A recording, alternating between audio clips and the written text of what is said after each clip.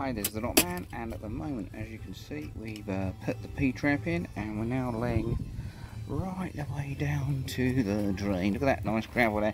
Ash, clean your boots up, look a bit messy.